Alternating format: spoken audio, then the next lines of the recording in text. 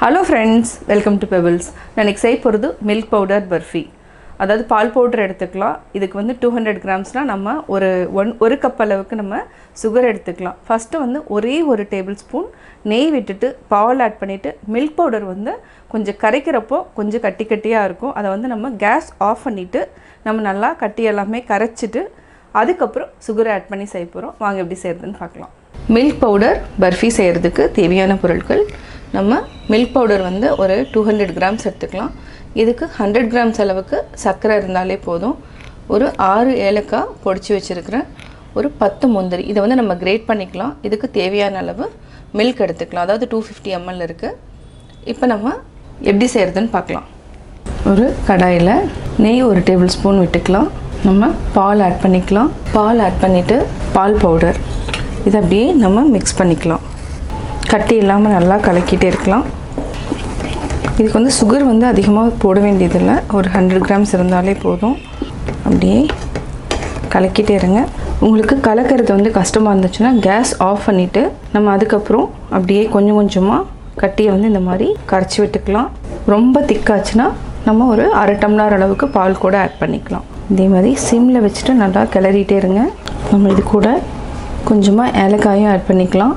இதையும் நல்லா மிக்ஸ் பண்ணி விடுங்க. நல்லா திக்காகிடும் அதுக்கப்புறம் நம்ம சுகர் ஆட் பண்ணிக்கலாம். இப்போ நல்லா கெட்டியாயிடுச்சு. இப்போ நம்ம சர்க்கரை ஆட் பண்ணிக்கலாம். இது ஆல்ரெடி வந்து ஸ்வீட் இருக்கிறதுனால நம்ம இப்போ தான் சர்க்கரை ஆட் பண்ணுறோம் இதில் நான் ஒரு மூணு டேபிள் ஸ்பூன் அளவுக்கு மீத வைக்கிறேன். வேணுன்னா நம்ம ஆட் பண்ணிக்கலாம். இதில் வந்து தண்ணி விடும். நல்லா அப்படியே கலக்கிட்டே வாங்க.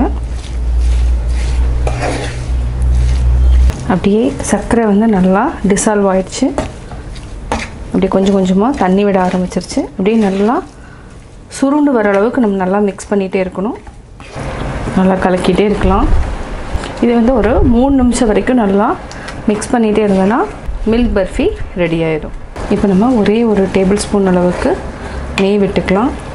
கொஞ்சமாக அதாவது இது ஆல்ரெடி துருவன முந்திரி இதையும் நம்ம ஆட் பண்ணிக்கலாம். நான் மீடியம் ஃப்ளேமுக்கு மாற்றிட்டேன் கடாயில் ஒட்டாமல் சுருண்டு வர டைமுக்கு நம்ம வேறு பிளேட்டில் மாற்றிக்கலாம் இப்போது ரெடி ஆயிடுச்சு. ஆஃப் நல்லா பார்த்திங்கன்னா ஒட்டாமல் வருது. இப்போ ஆஃப் பண்ணிக்கலாம். இப்போது பால்கோவா ரெடி ஆயிடுச்சு. இதை நல்லா செட் பண்ணிக்கலாம். நல்லா ப்ரெஸ் பண்ணி விடுங்க. இதை வந்து ஒரு தேர்ட்டி மினிட்ஸ் அப்படியே விட்டுறலாம். அதுக்கப்புறம் நம்ம பீஸ் போட்டுக்கலாம். மேலே முந்திரி பாதாம் ரெண்டையுமே துவைக்கலாம். அப்படியே ப்ரெஸ் பண்ணி விடுங்க நல்லா செட் ஆகிக்கும் அப்படியே நம்ம சைஸ் வேணாலும் இன்னும் கொஞ்சம் அப்படியே ப்ரெஸ் பண்ணோன்னா கொஞ்சம் நல்லா ஸ்லிம்மாகவும் நம்ம பண்ணிக்கலாம். நான் அப்படியே ஸ்லிம்மாக வேணுங்கிறதுனால நல்லா பரப்பி விட்டுட்டேன் நம்ம அதுக்கப்புறம் ஒரு தேர்ட்டி மினிட்ஸ்க்கு அப்புறம் எடுத்துக்கலாம். டுவெண்ட்டி மினிட்ஸ் ஆயிடுச்சு. இப்போ நம்ம கட் பண்ணி எடுத்துக்கலாம். அப்படியே ஓரத்தில் கட் பண்ணிவிட்டு அதுக்கப்புறம் எடுத்துக்கலாம்.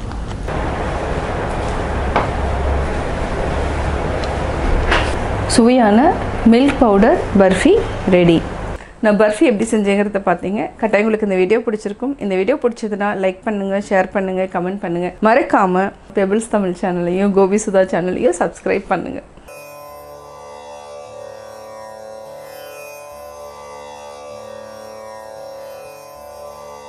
கற்றதனாலாய பயனன் கொல் வாலறிவன் நற்றாள் தொழார் எனின். எவ்வளவு படித்திருந்தாலும் அறிவு இருந்தாலும் கடவுளை வணங்க வேண்டும்.